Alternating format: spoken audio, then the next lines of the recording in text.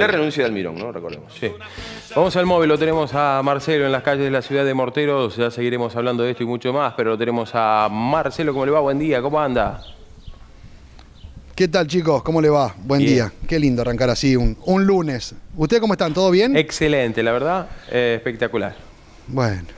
Bueno, bueno, me alegro, me alegro, me alegro por ustedes. Bueno chicos, ya este, para comenzar con toda la información que tenemos en el transcurso de, la mañana y uno de los títulos, más allá de la información que nosotros veníamos brindando y lo que eh, tiene que ver con esta inauguración de lo que será la departamental Ancenusa con asiento aquí en la ciudad de Morteros. Eh, algunos vecinos nos preguntaban, pero ¿qué significa? ¿Qué va a pasar ahora con la comisaría? ¿Va a seguir funcionando? Bueno, uno de los integrantes del equipo técnico que estuvo redactando este proyecto, que finalmente será una realidad el próximo día, el día jueves 9 de noviembre a partir de las 10 y 20 de la mañana, es el comisario inspector Luis Heredia. Eh, gracias por, por atendernos.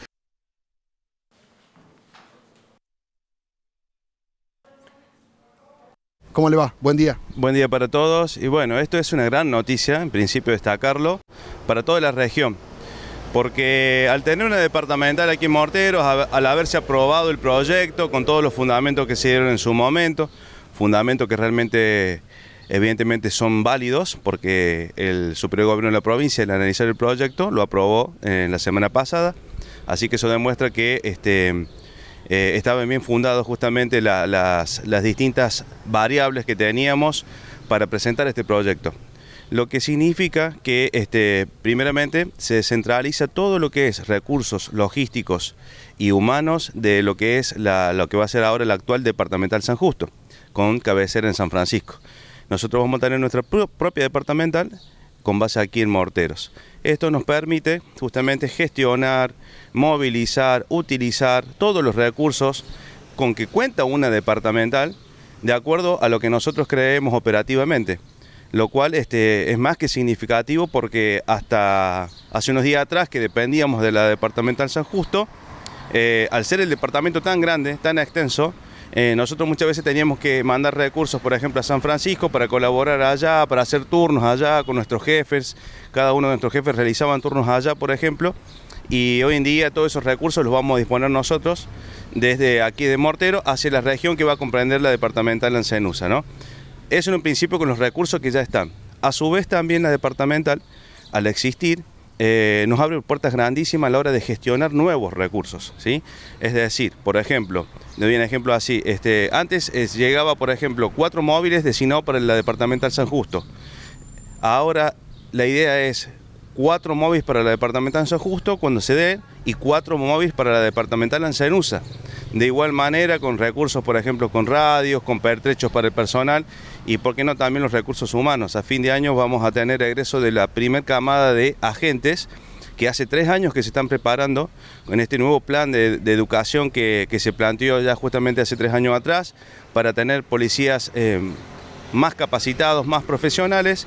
Se, cambió un plan de estudio, los agentes están hoy en día realizando una carrera de tres años para egresar, eh, prácticamente igual que lo que es un oficial, así que imagínense ustedes, eh, va a haber realmente un cambio importante en ese sentido para todo lo que es conforme a la tropa de la institución policial.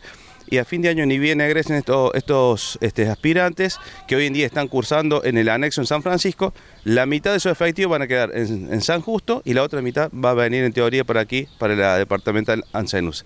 Que eso obviamente si hubiese estado únicamente lo que era antes la comisaría de Mortero, con una zona que yo la comandaba, íbamos a recibir recursos, pero no es lo mismo recibir desde una zona, desde una comisaría, que recibir desde una departamental.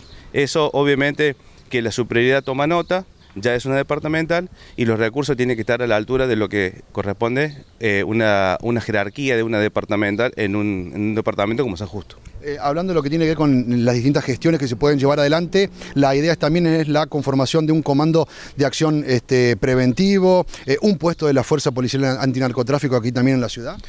Eh, bueno, tal cual. Eh, mira, hoy, hoy en día eh, el único comando que está funcionando como tal lo tiene en San Francisco porque allí tiene base la departamental San Justo. En un futuro no muy lejano, con nuestra departamental ya funcionando en Sanusa, una de las primeras este, variables y, disposiciones que vamos a implementar es la creación de un, CAP, un Comando de Acción Preventiva, que como el nombre lo dice, para explicarle un poquito a la gente, es una flota de móviles, por supuesto este, dotada de personal policial, eh, capacitado para trabajar netamente en lo que es en la calle, en la prevención. Primeramente en la prevención y segundo en una acción rápida cuando se llega a cometer algún delito. Eso hoy en día no lo tenemos aquí en, lo que es la, ciudad de Morteros, con la llegada de la nueva departamental, con los recursos que se están gestionando, este, seguramente vamos a poder este, implementarlo en un futuro no muy lejano. ¿Estaría descentralizado de lo que es aquí la departamental? ¿Estaría en otro sector, en otro espacio físico? La idea es, bueno, en principio este, contamos eh, con nuestro edificio, que es este, el de aquí donde hasta hasta hoy está funcionando en la comisaría y aclara que la comisaría va a seguir funcionando en, el edificio y va a convivir con la departamental, ¿sí? Este, eso para que la gente lo entienda. Es decir, que las personas van a seguir viniendo a hacer este, cualquier tipo de trámite aquí en la comisaría, pero a su vez se suman lo que es la departamental, donde vamos a tener base lo que es el director de la departamental, el subdirector quienes habla, el director aprovecho para decirles, el comisario mayor licenciado Javier Ferreira, que nos estaba acompañando, trabajando con nosotros ya hace un tiempo, desde la parte de coordinación operacional. Y hoy en día se suma ya como director de la departamental, bueno, yo lo voy a secundar como su director. Eh, como decía recién, también esto implica, por ejemplo, que San Justo Hoy en día en la base que tiene su departamental San Francisco cuenta con una base FPA, como vos lo comentabas, cuenta con una base de Policía Federal Argentina, con una base de Gendarmería, y eso lo ha, lo ha logrado al ser ellos una departamental, por supuesto, porque es una importancia que empiecen a tomar nota todas las instituciones que tienen que ver, por lo menos en el plano de seguridad. Y por qué no, llegado un momento nosotros como departamental, empezar a trabajar también eh, en un futuro también nos permitiría una base de FPA, ¿por qué no una base de Policía Federal? ¿Por qué no una base de Gendarmería? Al igual que lo tienen otras departamentales. Eh, ¿Cuántas localidades se abarcará la departamental? Bien, la departamental nuestra en Cenusa va a contar con tres zonas.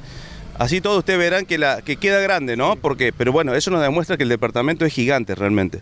Para cuestiones operativas era muy grande y por eso este, se logró este proyecto. Vamos a tener la zona de inspección número uno con base aquí en Morteros que va a comprender lo que es como ciudades más importantes, Morteros, Brinkman y sus jurisdicciones, con las otras localidades como San Pedro, eh, Viñón, Sever, Paquita. ¿sí? Luego vamos a tener la eh, zona de inspección número 2, con base en Balnearia, que va a comprender dentro de Balnearia también un lugar muy importante, una localidad tan importante como Miramar, que fue uno de los fundamentos también con la gran, gran afluencia de turistas que hemos tenido en el último tiempo, también fue unos grandes fundamentos de que la región ya había crecido en, muchos sentidos, por lo cual este, este, está más que justificado una departamental que estuviera más cerca de lo que es este, hoy en día el Parque Nacional Sanusa, ¿no? Así que bueno, la zona 2 comprendería este, Bañaria, Miramar, Chipión, Marul.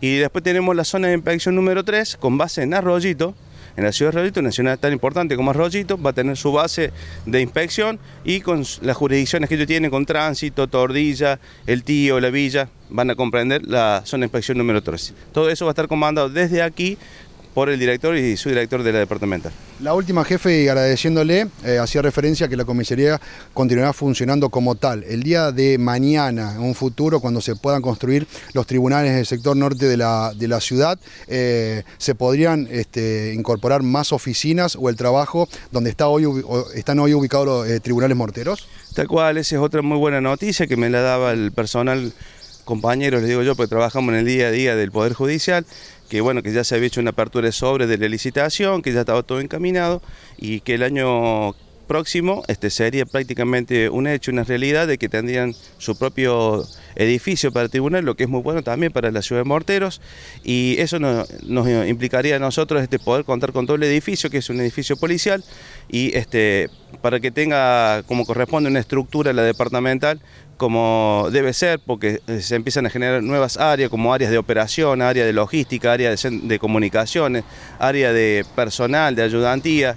Este, y bueno, todo eso debe formar forma parte de una estructura de la departamental, para lo cual nos va a venir, muy bien después de contar con esa parte del edificio. Eh, como futuro subdirector, ¿puede confirmar la llegada de, la fiscal, de una nueva fiscal aquí a la ciudad de Morteros? Tenemos conocimiento que hay, hay este, estaría ya designado un, nuevo fiscal y es lo que me ha, comentado por ahí la parte de judicial, así que también, bueno, eso todo implica lo que es este justamente la departamental, al ya estar, recién está funcionando o empezando a funcionar y ya se ven muchas cosas positivas para la región, así que lo que será muy bueno este, si se concreta la llegada de, un fiscal para el próximo mes la jefa de policía y toda la cúpula mayor estarán presentes aquí el día jueves. Tal cual, y eso va a ser, es algo también histórico. Hace poquito tuvimos la, visita de la señora jefe de policía por un acto que se realizó en San Pedro, pero también estuvo visitando las instalaciones de morteros y ella ver todo lo que significa una localidad como la nuestra, el edificio con que contamos y bueno, lo justificativo en el proyecto, fue quien le dio la fuerza para que el proyecto fuera aprobado en Córdoba y eh, justamente ella al conocer toda esta región lo ha invitado a todo el Estado Mayor, a toda la cúpula policial que se va a hacer presente el día jueves, lo que vuelve a ser histórico también porque nunca tuvimos el acompañamiento o la visita de todo el, eh, el Estado Mayor de nuestra policía. Jefe, muchísimas gracias. No, por favor, a disposición como siempre. Por favor. La palabra del comisario inspector Luis Heredia, quien será subdirector de la departamental Ansenunza, brindando un poco de, de, detalles de lo que será el acto inaugural y como así también ¿no? lo que significa y lo que, lo que implica que este, Morteros a partir del día jueves, más allá de todos los trabajos, hay un, un movimiento importante aquí en la comisaría de nuestra ciudad, que sea departamental Ansenusa. Bien, acto que será seguramente transmitido en vivo, pedidos tuyos, las 10.20, el eh, próximo jueves. ¿eh? Gracias, Marcelo. ¿eh? Gracias también a la gente por, obviamente, aceptar el uso horario que pedía Marcelo. Nosotros nos vamos ahora.